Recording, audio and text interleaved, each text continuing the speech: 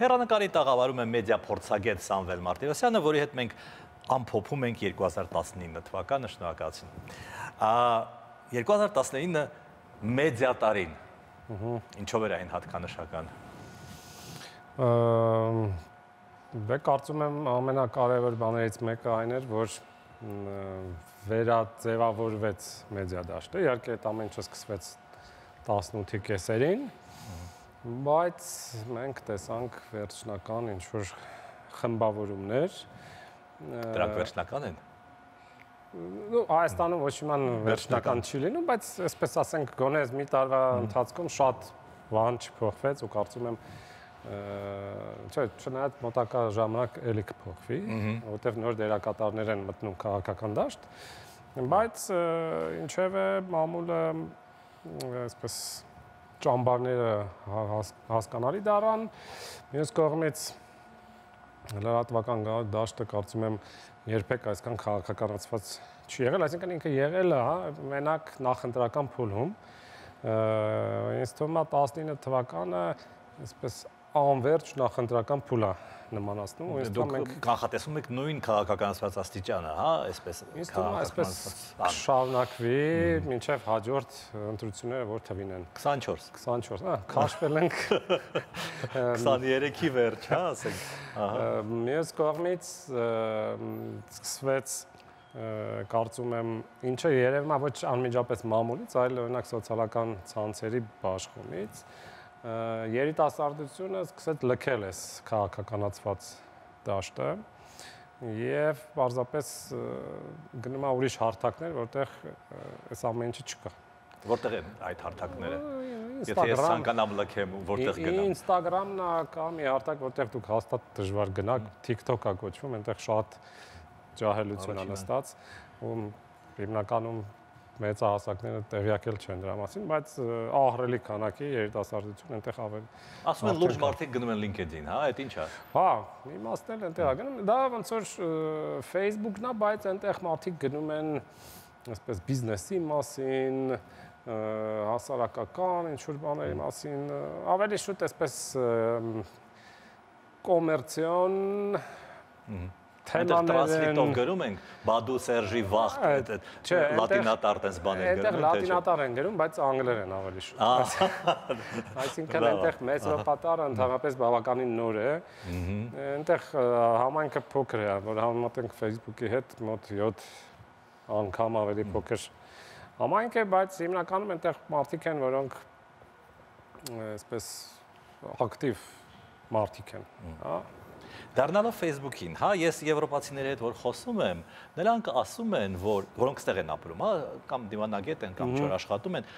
որ Հայաստանը այն բացառիկ երկրներից է, որտեղ Facebook-ը այդքան մեծ դեր ունի, որ իրենց երկրներում այնուամենայնիվ կան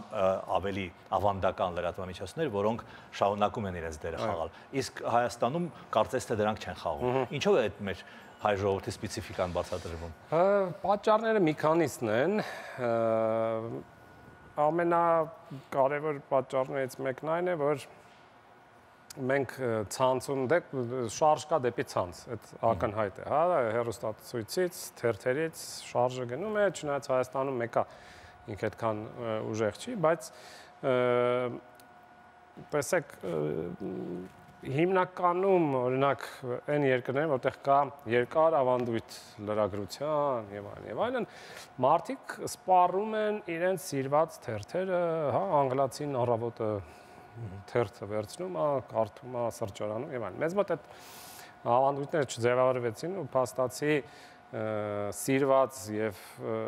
այսպես ամեն օր ընթերցվող լրատվամիջոց գաղափարը այդքան էլ չձևավորվեց։ Մյուսը այն է, որ ցանցում, երբ որ մարդիկ օգտվում են, նույն անգլացին, ամերիկացին, ֆրանսիացին, ռուսը, իրենք օգտվում են այսպես կոչված ագրեգատորներով։ Անգլալեզուների համար հիմնական դա Google News-ներ, Ռուսաստան օրինակ Yandex Novosti-ն կա։ Այսինքն եթե դու գիտես ինչ-որ բան է կատարվել, դու մտնում ես այնտեղ, համակարգը այնտեղ արդեն հետաքրքիր նորությունները ձևավորվել է, համակարգել է, տեղադրել է, դու քեզ մնում է ուղղակի այսպես Մեր մոտ էլ դա մոդա չի կարծես։ Մեզ մոտ չդառա, որովհետև այդ մեծ հարթակները հայերենի հետ չսկսեցին աշխատել։ Դրա համար մարդիկ նստեցին Facebook-ի ասեղի վրա, որտեվ ամենահարմարն էր այդ պահին, դու նստում ես Facebook-ում, բոլոր լրատվականները այնտեղ կան, քեզ մնում է այսպես թերթես նորությունները հայտնվում են։ Եվ հետո լրագրողները բոլորը եկան լծվեցին այդտեղ քաղաքական գործիչները եկան լծվեցին Facebook ու փաստացի ինքը դարավ համահայկական մի հարթակ ու եթե նայում ես օրինակ արևմտյան կամ ռուսաստանյան լրատվամիջոցի այցելուների թիվը եւ Հայաստանի այցելուների թիվը, ապա շատ կտրուկ տարբերություն կա։ Օրինակ, ինչ ասեմ, CNN կամ The Guardian, ես եմ BBC կայք այցելողների 2/3-ը դա այն մարդիկ են, որոնք միացնում են համակարգիչը եւ ձեռքով հավաքում են հասցեն եւ մտնում են։ Այսինքն իրանք կոնկրետ BBC-ի համար BBC կարդալ։ Եվ շատ փոքր տոկոս մոտից 5-ից 7% դա այն մարդիկ են, որոնք Facebook-ից, Twitter-ից են գալիս։ Մեզ մոտ լրիվ հակառակն է։ Լրատվամիջոցներ կան, որոնց այցելությունները 80-90%-ով Facebook-ից են։ Եվ շատ քիչ են, կան էլի տենց լրատվամիջոցներ, որոնց էլի ձեռքով հավաքում են, բայց իրենց բանը թիվը մեծ չէ։ Այսինքն մենք ունենք հասարակություն, որը ոչ թե սպառում է կոնկրետ իր սիրված լրատվամիջոցները, այլ մենք ունենք ģեր քաղաքականացված հասարակություն, որը պարզապես մտնում է Facebook, ու այդ պահին ինչ տեսավ, կարդում է, շատ դեպքերում մարդիկ չեն հիշում, չէ, որտեղ են կարդում, ասում են Facebook-ում գրած էր։ Հա։ Ինչը իհարկե Եվ կլիկ են անում այն վերնագրի վրա, որը իրենց հետ է։ Ինչ որ տեսան, ինչը դուրներ եկավ, ինչը իհարկե պրոբլեմատիկ է, որովհետև հասարակությունը դառնում է ավելի մանիպուլատիվ ով Facebook-ի հետ լավ աշխատում, ինքը փաստացի կարողանում է քաշել իր վրա լսարանը։ Դուք կամաձայնեք, որ գիրք թերթ կարծացողը եւ ինչու՞ չէ նաեւ հերոստացույց նայողը ավելի զարգացած է, ավելի կրթված է եւ ավելի քննադատական մտածելակերպ ունի, քան այն մարդը, որը ամբողջ օրը Facebook-ում կամ Instagram-ում է նու հերոստացույցը համոզված չեմ։ Ինձ թվում է հերոստացույցը այդ նույն Instagram-ն է ուղղակի մեծ։ Ահա։ Իհարկե նայած ալիք եւ այլն, բայց գրքի հետ կհամաձայնեմ ու ցավոք սրտի գիրք կարդացողները, իհարկե գիրքեր կա, գիրքեր կա, մարդիկ կան, որ ամբողջ կյանքը կարդացել են միայն Դանցովայի դետեկտիվները, սպეციფიკա, բայց դա փաստ է եւ նաեւ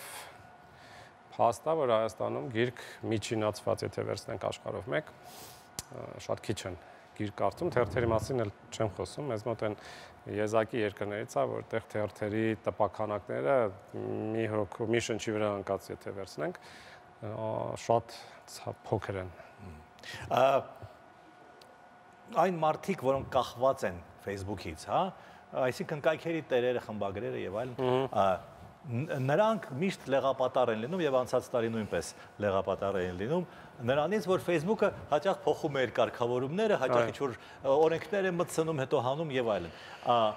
Ինչ օրենքներ էին դրանք եւ ինչ է սպասում 2020 թվականին։ Դա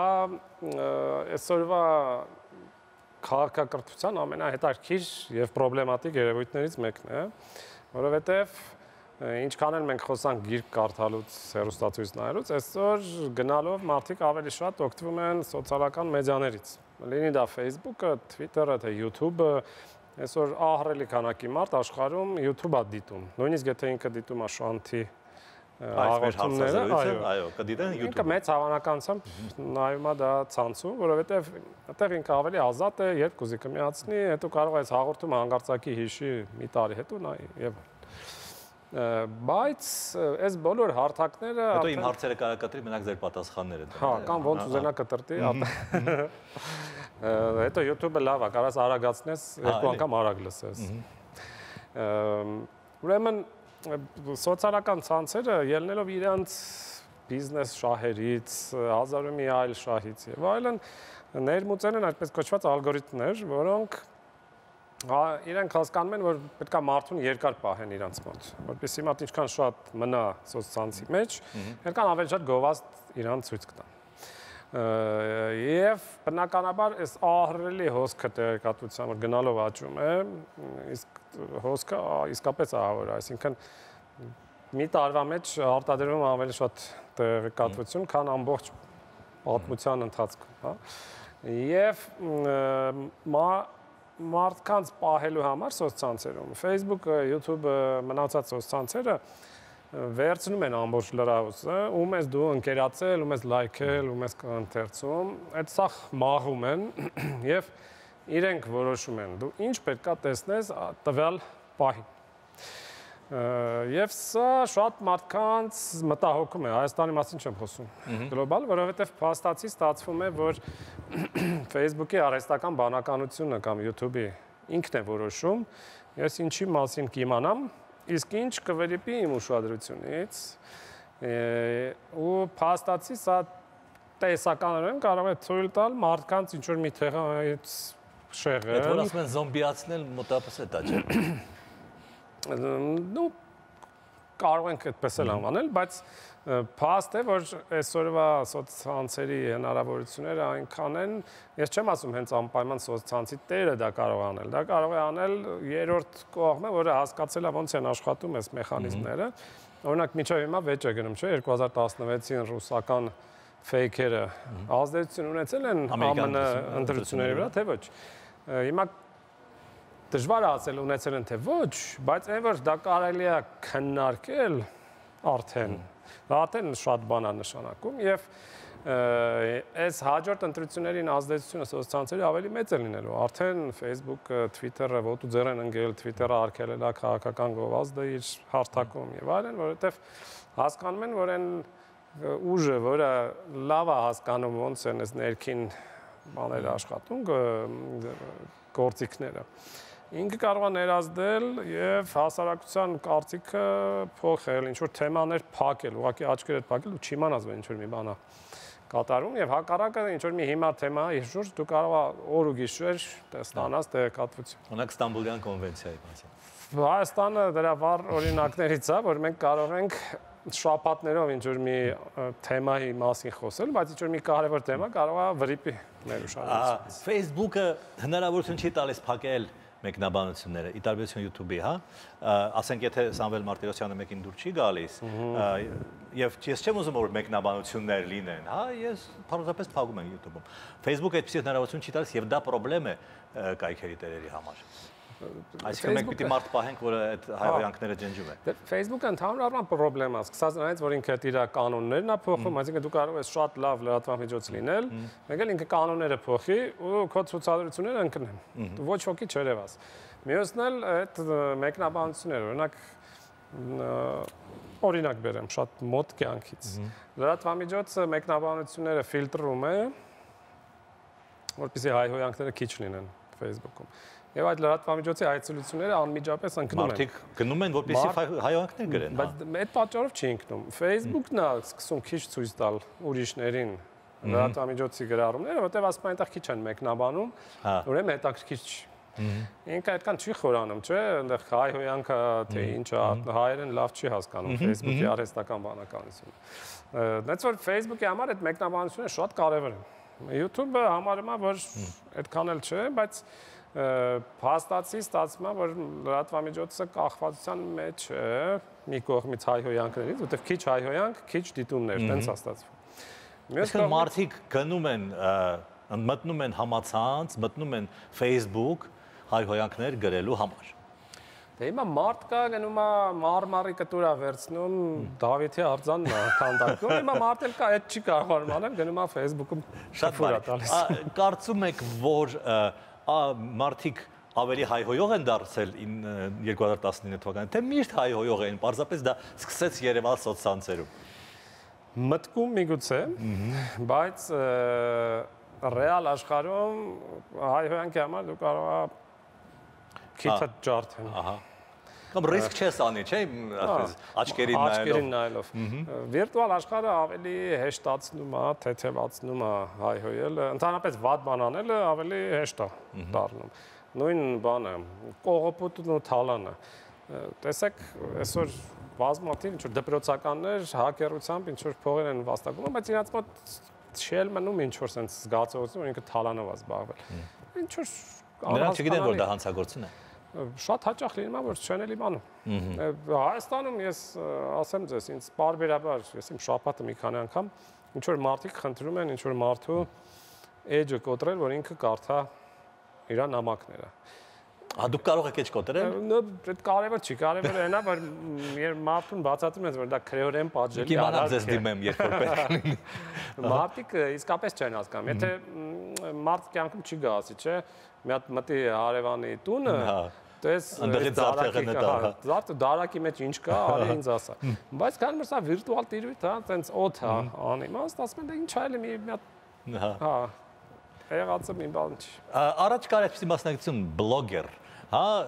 հիմա էլ երբ արտասահմանում կա եւ այդ մարդիկ փող են աշխատում ասենք հեծանի սիրողների բլոգեր կամ չգիտեմ սոխ մակրոների բլոգեր այսինքն ոչ քաղաքական մեր մոտ այդ մասնակցությունը այդպես չզարգացավ որքան հասկանում կամ կան քաղաքական բլոգերներ չգիտեմ չէ դե աշխարհում նենց չի որ քաղաքական բլոգերները առաջադեմ են այս հենց 2019-ի ամենամեծ գումար վաստակած բլոգերների մեծ մասը 5-6 տարեկան երեխաներ են։ Այդ եմ ասում, հա։ Այսինքն քաղաքական չեն քաղաքական բլոգերներ բնականաբար կան,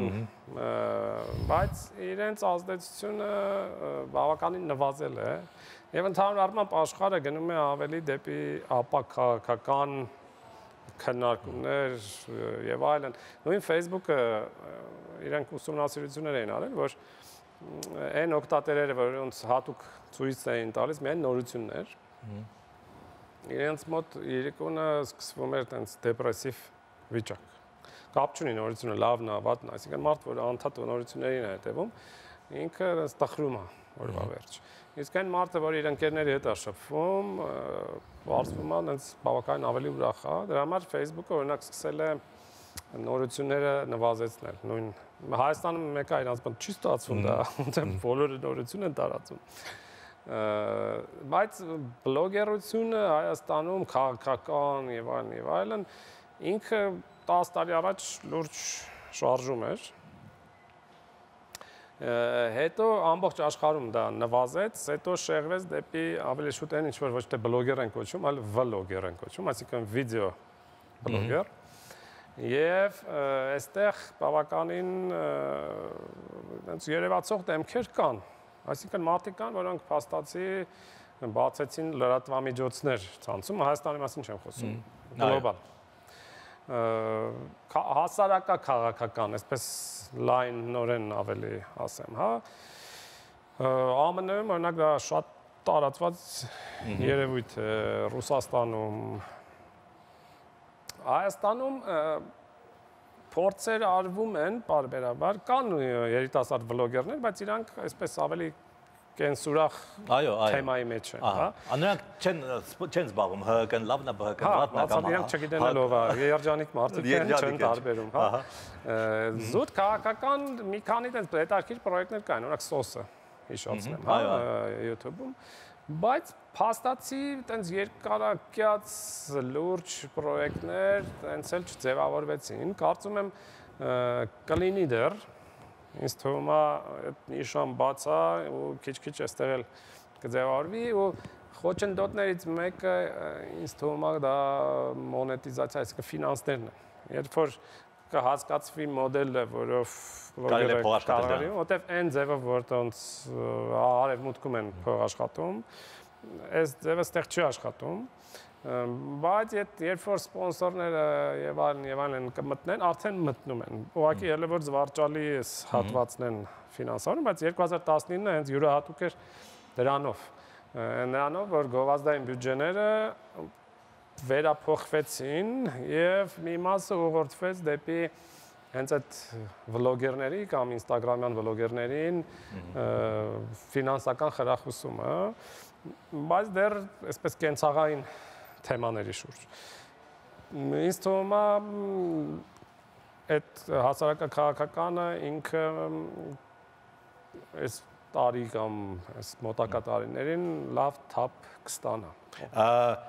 հիմա մեր падգամավորները 19 թվականին մտահոգվել են fake news-երով եւ ատելության խոսքով ոչ միայն մեր, այլև շատ-շատ այլ խորհրդարանների պատկանավորը։ Դա լուրջ բան է, թե իզուր ջանքեր պիտի ծախսեն, այսպես ասած։ Դե մի կողմից ջանքերը ամենայն հավանականությամբ իզուր են լինելու, որովհետև շատ բարդ է հասկանալ աշխարհում դեռ դրական լուրջ փորձ չկա այս ամեն ինչի դեմ պայքարի, հա, որտեվ ինտերնետը շատ բան փոխել է նաև վերահսկողության բարդությունը, այսինքն վաղ թե ուշ, եթե ինչ-որ մի իշխանություն փորձում է այս ամեն ինչի դեմն առնել, միշտ գալիս հանգ հանգում են պատին, այսինքն պետքա անջատեն ինտերնետը։ Ոնց որ եղավ օրինակ Իրանում, հա, մի երկու ամիս առաջ։ Այո։ Բայց չես կարող անդադ ինտերնետը անջատած պահել։ Չինաստանը նույնիսկ որ փորձում է մաքսիմալ վերահսկել, այնտեղ թեթև Հոնկոնգը ավելի թույլ կետ է, այնտեղ տեսնում եք արդեն քանի ամիս է հենց ինտերնետով ուղղորդվող շարժումներ են եւ այլն, այդ նույնը վերաբերում է նաեւ ատելության խոսքին ու fake նորություններին, այսինքն կարգավորումները իրենք շատ բարդ են, որտեղ մարդը շատ հեշտ կարող է ինքնությունը թաքցնել։ Ես երբ գնացի Չինաստան, կոմպյուտերի մասնագետը մի հատ իկոնկա դրեց, ասեց այս իկոնկան կծխմես ու Facebook կմտնես, չմտածես։ Ինձ թվում է, եթե Հայաստանում կան այդպիսի մարդիկ, Չինաստանում հաստատ կլինեն։ Դե բնականաբար։ Ուղղակի Չինաստանը ուրիշ ձև են գործում, այդտեղ փորձում են շատ ավելի բազմաշերտ վերահսկողություն անել, սկսած ռեալ կյանքից մինչև on-line կյանքը, բայց Fake նորությունները իհարկե արդեն ռեալ ազդում են։ Ատելության խոսքը ռեալ ազդում է։ Բայց դրանք անհաղթահարելի են, ըստ Ну, իրանց առնվազն սենց ասեմ, միայն օրենսդրական կարգավորումներով դեմն առնել չես կարող։ Բայց ազդեցությունը ակնհայտ է։ Ես մի քիչ ինտերնետից դուրս այդ հայտնի դեպք կա, որովհետև ոնց որ ասած մաթեմատիկորեն ապացուցված, հա, Ռուանդայի ցեղասպանության հետ կապված, Այնտեղ գոյություն ուներ 1000 բլուրների ռադիո, այդպես կոչված, որը հեռարձակում էր հենց այդ ատելության խոսքը, այսինքն կոչեր էին անում տուցիներին մորթել, որտեղ նրանք մարդ չեն եւ այլն եւ այլն։ Այդ հենց ցեղասպանների խոսնակներ, այսպես ասած, այո։ Եվ հետաքրքիր բան էին ցույց տվել, որ այդ ռադիոն ամենտեղ չէր բռնում բնականաբար։ Այն տեղերը, որտեղ այդ ռադիոն սփռումը լավ համընկնում էր զոհերի ուրեմն պատանում էր տալիս զոհերի քանակի, հա, այսինքն որտեղ որ այդ ռադիոյի ազդեցությունը եղել է, այդտեղ ավելի դաժան է Մեր մոտ դեռ պարզ չէ թե ատելության խոսքը ինչ է, հա, որը Ես ծայրահեղ օրինակ վերեցի, բայց հա, հա, մեր մոտ ոչ ոք առանձնապես ոչ ոք ինչ որ մի խմբի մորթելու կոչեր չի անում, բայց ոմանք ասենք ընդդիմա վառելու անում են։ Վառելու, հա, գնդակահարելու։ Բայց ոմանք ասենք ընդդիմադիրները ասում են, որ պատերին ծեփել, ես չգիտեմ, ասֆալտին փռելը դա ատելության խոսք է։ Ինձ թվում է ոչ, բայց հիմա բանը չկա, սահմանը չկա, հա։ Դե սահմանը հենց այդ է որ ամենաբարդ բանը, եթե գործը հասնում ատելության խոսքի քրեականացմանը, այսինքն դատավորի ուսերին ընկնում այդ բերը հասկանալ, արդյոք դա փոխաբերական արտահայտություն էր, ամենավառ օրինակն է, որ ասում աշկերը պետք է հան, հա։ Հիմա դա հաշվի առնելով հայոց լեզվի յուրահատկությունները, դա ամենայն հավանականությամբ անմիջական սպառնալիք չի։ Այո։ Մեկ-մեկ եւ տատը տատը թորին ասում է։ Բալաջան աչքերը թանեմ, էս ինչ լավ երեխա է, հա։ Մի հատ էլ բոյ է թաղեմ վրայից, հա։ Ահա։ Բայց անմիջական կոչերը ընդ որում հանրային ազդեցություն ունեցող մարդկանց կողմից իրանք կարող են դիտվել որպես ատելության խոսք։ Այսինքն, այստեղ կարևոր մի բան կա, ատելության խոսք fake-ի կողմից ինքը ատելության խոսք չի հաստացի։ Այսինքն, շատ դժվար է պատկերացնել, որ ինչ որ նունուշ գումուշ նիկնեյմով խպարտ ինչ որ մեկը, հա, ինձ ասի եկեք գնանք ես իմ բոլոր ակնոցավորներին սպանում։ Ակնոցավորներին, ոնց որ բանում էր ելնում, չէ՞։ Կամբոջայում ակնոցավորներին սպանում էին։ Ասի գնանք կրկնենք Կամբոջայի հերոսական փորձը եւ կոտորենք ակնոցավորներին։ Պարզապես դա ոչ ոքի վրա ռեալ ազդեցություն չի թողնի, որտեղ ինքը անհայտ ինչ որ բան է։ Բայց եթե դա անի ԱԺ падգամավոր կամ ինչ որ մի բարձրաստիճան պաշտոնյա կամ հասարակական գործիչ, երկիչ, ըհը դա արդեն կարող է դիտվել, որովհետև դրանք մարդիկ են, որոնք ունեն ազդեցություն հանրության վրա, հանրային կարծիքի վրա ազդեցություն ունեն եւ իրենց կոչը կարող է բերել ռեալ բռնության։ Facebook-ը այնուամենայնիվ բոլորի թերությունով այնուամենայնիվ ժողովրդավարության ազատության գործիք է եւ հեղափոխությունը 18 թվականին նույնպես Facebook-ի սոցիալական ցանցերի միջոցով է տեղի ունեցել։ Եվ պատահական չէ, որ շատ տեղերում փորձում են այն արգելել եւ այլն։ Այդպիսի բան Հայաստանին, որքան հասկանում եմ, չէր սպառնում եւ չի սպառնում։ Որ արգել են։ Որ արգել են։ Դե մենք փորձ ունենք, ես հիշացնեմ 2016-ի ՊՊՑ գնդի գրավման առավոտյան Facebook-ը արգելափակվել էր մոտ 40 րոպեով Հայաստանում, ավելի շուտ Երևանի ինչ որ հատվածներում։ Այսինքն փորձ արվեց։ Մինչև այդ եղել էր մեկ էլ 2008-ի մարտի 2-ից։ Դրանք Facebook-ը դեռ այդքան տարածված չէ, կայքերն էին, բայց արգելափակվել էին կայքերը։ Ուզում եմ ասեմ ինտերնետի արգելափակման փորձ կար։ Հայաստանում բարեբախտաբար այդ միտումները չկան, կար փորձ երկու անգամ համեն նախորդ իշխանությունների ժամանակ համ նոր մտցնել արգելապակում on-line կազինոների, որը հեչ Facebook-ի հետ կապ չունի, բայց եթե դա ընդունվեր, դա կնշանակեր շատ մի կարևոր բան։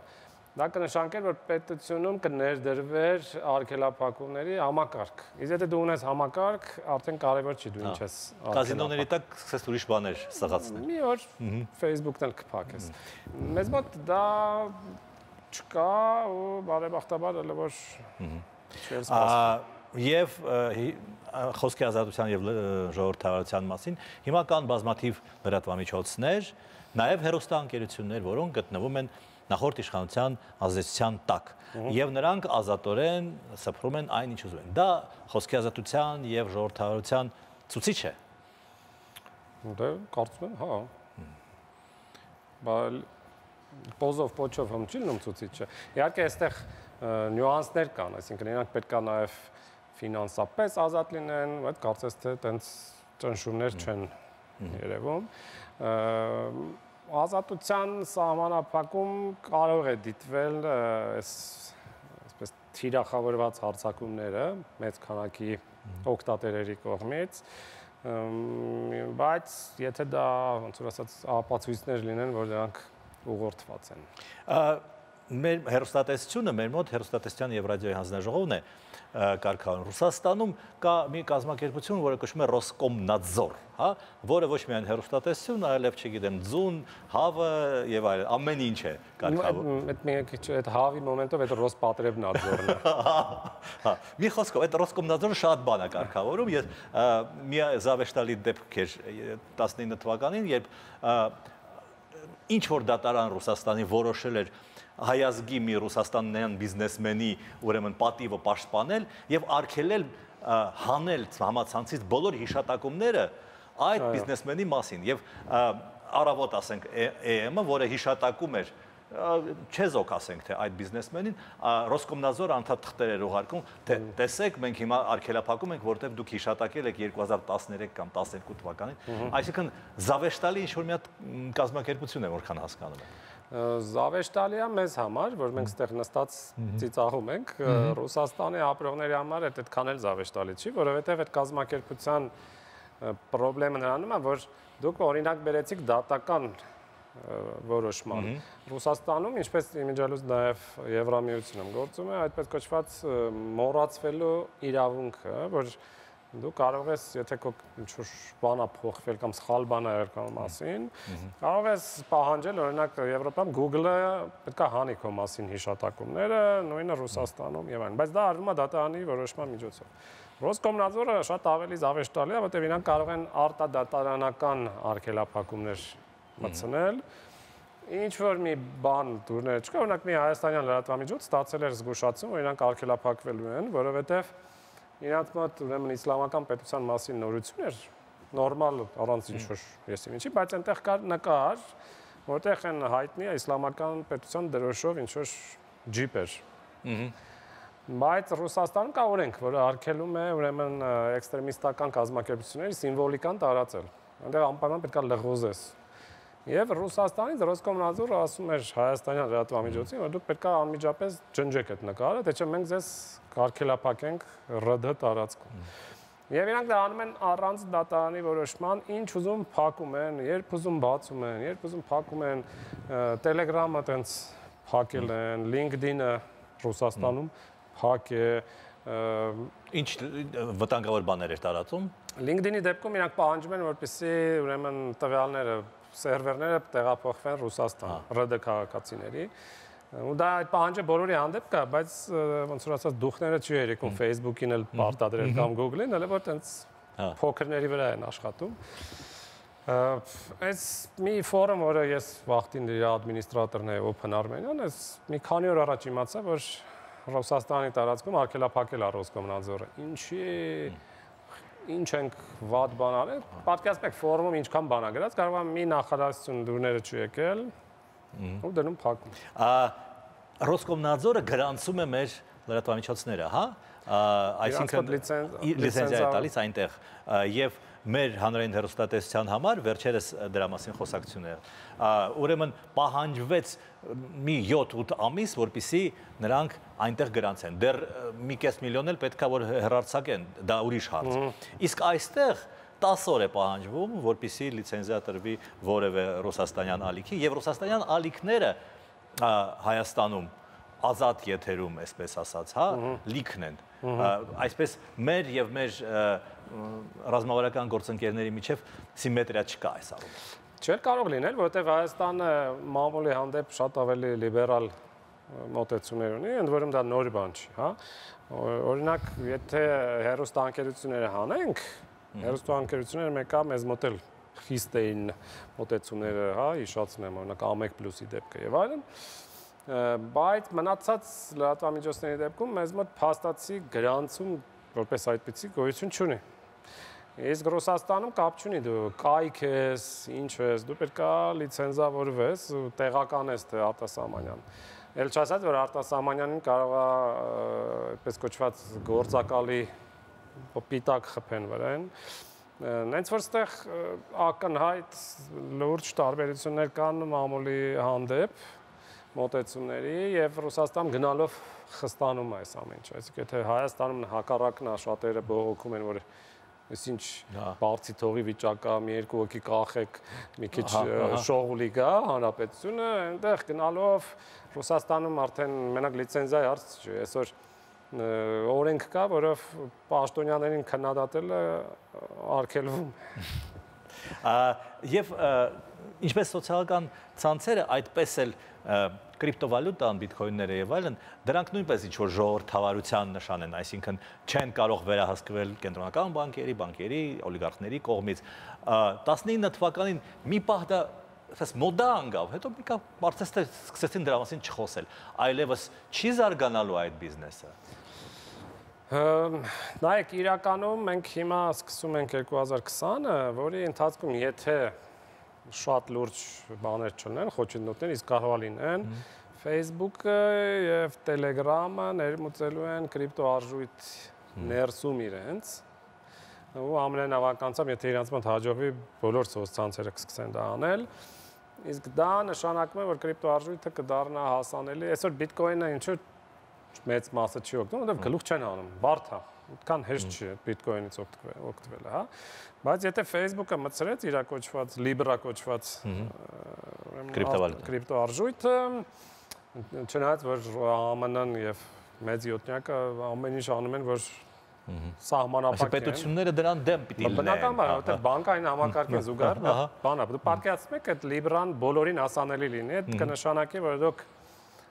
Messenger-ով կարողանաք գումար ուղարկել, որ երկիր ուզենաք, ում ուզենաք ու բավական անվերահսկելի ձևով, ինչեւ որ դուք չտանեք բանկով դուրս հանեք այդ գումարը։ Այո։ Նայած որ նաև հանցագործությունը կարող է, չէ, այդպես արվի։ Այսինքն հա։ փող լվալը, չգիտեմ, դուրս բերել։ Մենք լավ էլ տեսնում ենք, որ փող լվում են առանց կրիպտոարժույթի հա, հա, հանգիստ օֆշորներով բանը։ Նայած որ նորից մոդա կարող այս ամեն ինչը ընկնի, բայց նայած երկիր, օրինակ մեր հարևան Վրաստանում կրիպտո արժույթի մայնինգով զբաղվողների թիվը մոտավորապես 10% տնային տնտեսությունները զբաղված են կրիպտո արժույթով եւ գինո արտադրությունից անցել է հա բիտկոինը։ Մեր օլիգարխները նույնպես հետաքրություն սկզբ մայնինգի նկատմամբ, չէ, դրսևորեցին նույնիսկ ինչ որ շենքեր կառուցեցնին դրա համար, բայց դա էլ հանգեց, այսպես ասած։ Դե որտեվ հետաքրքրությունը սկսվեց այն բան, երբ որ անկարագրելի աճ էր, այսինքն ով վախտին հասցրել էր առնել, հազարավոր տոկոսների, եթե ոչ ավել, շահույթ էր ստանում։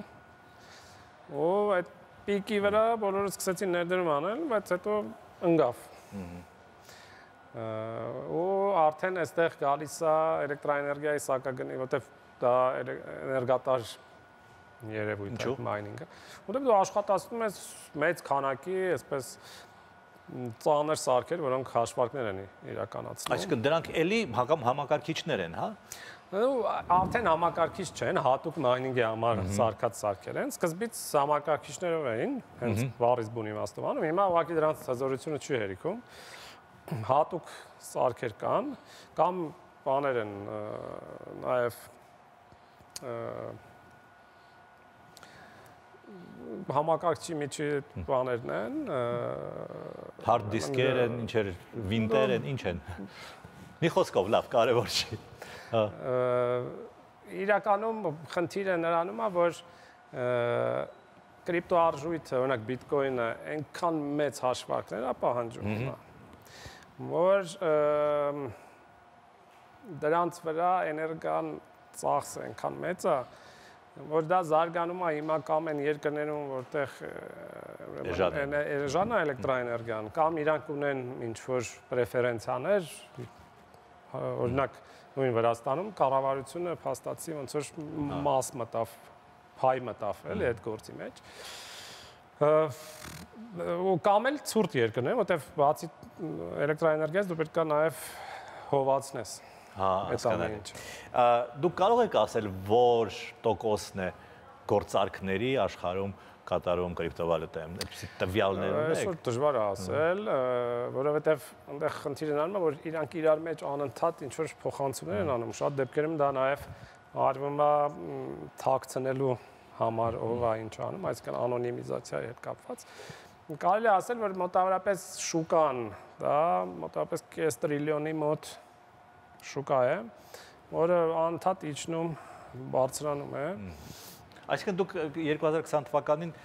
լավատեսորեն եք այս ճյուղին վերաբերում։ Բել լավատեսորեն է որն է ինքը կհարմարած, եթե այս իմ ասած սոցցանցերում մտնի այս ամեն ինչը, ինքը շատ հարմարավետ կդարձնի գումարային փոխանցումները, բայց կենտրոնական բանկը ինձ թվում է հեչ գոհ չի լինի այս ոչ մի կենտրոնական ոչ մի կենտրոնական բան ա չենք կարող գախնալսումների թեման չնայած մենք արդեն խոսել ենք այս տարի բայց շատ էր ուրեմն եւ դրան ավելացավ նաեւ այն որ ոստիկանությանը հնարավորություն տվեցին նույնպես գախնալսել եւ դա իրավապաշտպանների դժգոհությունը առաջացավ դուք այստեղ տեսնում եք խնդիր Նայեք, խնդիրը միակ կողմանի չի։ Ինչու են առաջարկում ոստիկանությանը տալ հնարավորություն գախնալսել, որովհետև ոստիկանությունը հիմա էլ ունի այդ հնարավորությունը, բայց ինքը պետք է ամեն անգամ գնա դիմի ԱԱՑ-ին եւ ԱԱՑ-ի միջոցով անի։ Պրոբլեմը նրանում է, որ ԱԱՑ-ն փաստացի ստանում է տվյալներ նաեւ այն քաղաքացիների մասին, որոնց մասին ինքը չէր պլանավորում գախնալսում անել, բայց ոստիկանության գախնալսման պատճառով, այդ որոշման պատճառով դատարանի ինքը ստանում է նաև լրացուցիչ տվյալ, որը լավ չի։ Բայց մյուս կողմից, եթե